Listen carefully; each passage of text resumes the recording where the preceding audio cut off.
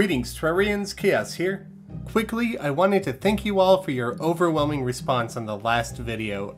At the time of recording this, that video has nearly broken 100,000 views in less than a 48 hour period, which is far better than any other video I have released to date. We also gained over 1,700 new subscribers. So welcome to the channel. We are still well on our way to reaching 50,000 subscribers by the end of the year. So keep it up everybody and please consider hitting that subscribe button. On my Discord server, I have a section where I pull the members to see what type of time-lapse video I should build next. A while ago, I asked what they would like to see, and the underground biome was selected. I hadn't been able to work it into my schedule due to the hecticness of life lately and to taking a two-week long break, but I am getting to it now. Recently, a lot of people have been requesting a pumpkin build, and since it's getting closer to Halloween, I thought it would be a perfect fit. Additionally, some have been asking for a Nightmare Before Christmas build.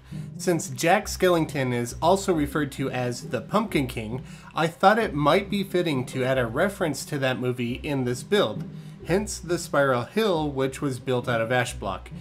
If you're wondering why I'm building on the surface even though underground was the selected part of the poll, it's because I wanted to have it make some sense, so there's going to be a means of traveling from the surface to underground, and also because I needed something a little bit brighter for the thumbnail. For the crypt entrance, I wanted to have a stone carving of the pumpkin's head sitting on top. I considered making it out of some type of stone block, but I wanted to have the ridges and grooves in it that a pumpkin would normally have, so I decided to use some gray painted pumpkin block instead.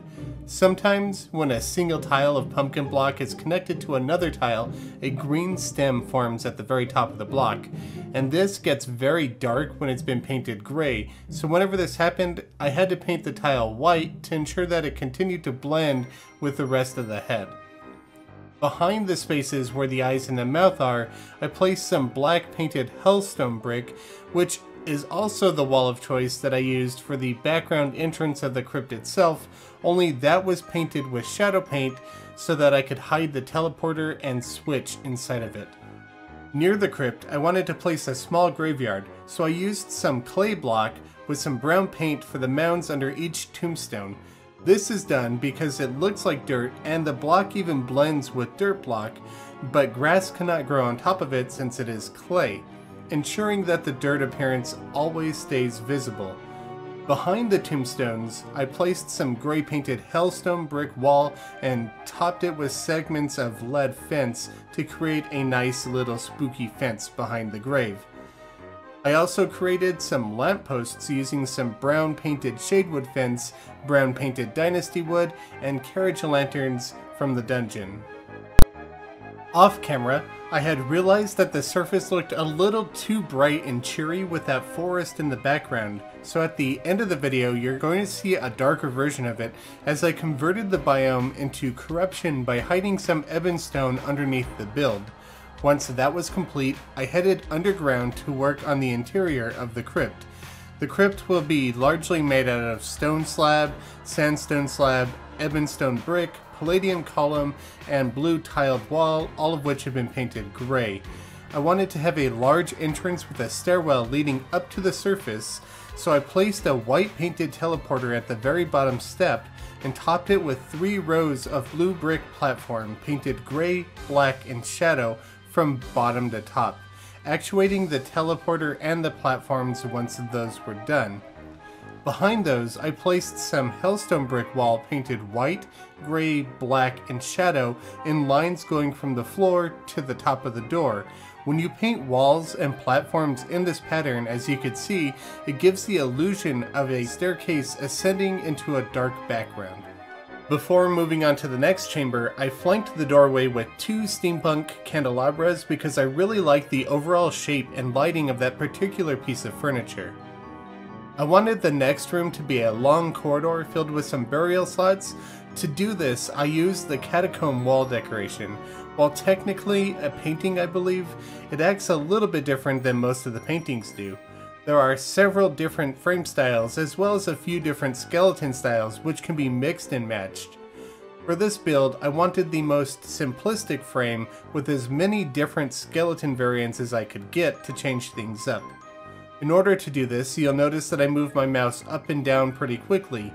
Each time the tile preview moves from one space to another, a different frame and skeleton is selected. You can use this technique to choose what style you want to place before clicking to save yourself some time. Once that was completed, I closed off the chamber with a gray painted spooky door as I felt the pumpkin head on the center of the door was a perfect fit for the theme of this crypt. Next, I used my drill mount to carve out a cavern in the next area because I wanted to have part of the crypt exposed to the elements, forcing you to traverse through a damp cave before entering the end of the structure. I bridged the gap from one edge of the cave to the other with an arched stone bridge, and then I actuated the very bottom segments of each arch and filled the bottom of the cave with water. The reason why I actuated those segments of the bridge is so that the water can appear in front of the tiles, making it look like the bridge is partly submerged. Behind the bridge, leading up to the ceiling, I made a waterfall using some waterfall wall.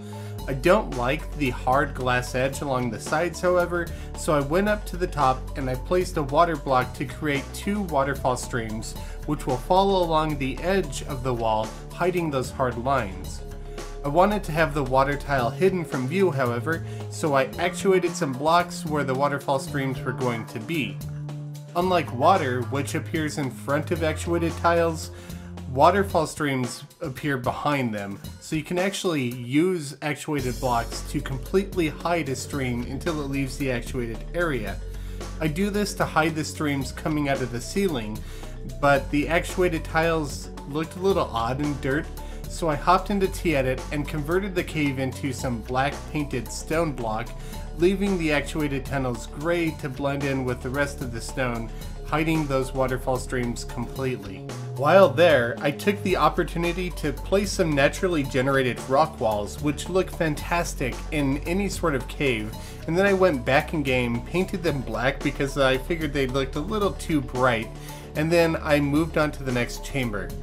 Using the same style from the previous room, I created another hallway full of skeletons. Personally, I do wish that there was a variant of the catacomb painting that didn't have any skeletons in it, or perhaps just had a skull in it, because I think it would look nice to have some empty slots along the tunnel, but since that's not an option, I just made do with what I have to light the corridor, I placed a couple of stone slabs to drop the ceiling down slightly in two areas, and I hung carriage lanterns off of them. The light from these lanterns is rather dim, which fits the ambience of the crypt nicely. Lastly, I wanted to create a large room which would house the Pumpking himself. At first, I had considered making a large coffin for him to be housed in, with a stone shape of his head, which would mimic what we saw at the top of the crypt, but then I thought it might be more interesting to instead create a large door which was partly ajar and have the glowing eyes of the pumpkin peering from the darkness. The door frame was made using some white painted palladium column with white painted living mahogany in the middle of the columns to create a textured pillar, which I actuated so you could walk in front of it. On top of that, I placed some gray painted stone slab and sandstone slab, and I created the door using some brown painted ebonwood wall with a single chain piece placed as the doorknob on the left side, and on the right side I placed some shadow painted titanstone wall. To create the pumpkin's eyes and mouth, I placed some topaz gem spark block along the open doorway, but that didn't work out quite as I had planned because the blocks would appear slightly in front of the ebonwood door, and I wanted the glow to be completely in the background. It also left a small gap between the eye and the door frame which looked a little bit off, so instead I placed some topaz gemspark walls in the background, which wouldn't overlap with the door and could be hidden behind the column. And I used some shadow painted dynasty wood to shape them. I thought it might be interesting to look like the Pumpking was reaching through the door and opening it himself, so using some deep lime paint on living mahogany, I created one of his arms and I topped it off with some gray painted tin plating to create his bladed hand. And that's going to do it for the Pumpking's Crypt. I will leave a link to the download in the description, but please bear in mind that this was made on PC in version 1.3.5, so it cannot currently be played on a mobile device. I hope you all enjoyed the build. If you did, be sure to leave a like and a comment, and please consider subscribing to the channel. It really helps me out. Thank you all very much for watching. I'll catch you all later. Happy building!